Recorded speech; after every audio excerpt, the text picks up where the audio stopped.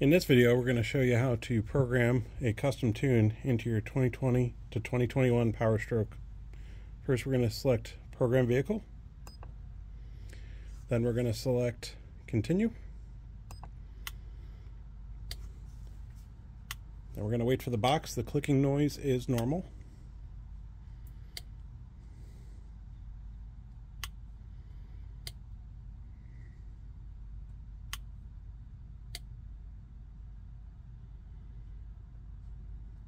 Then we're going to select our custom tune.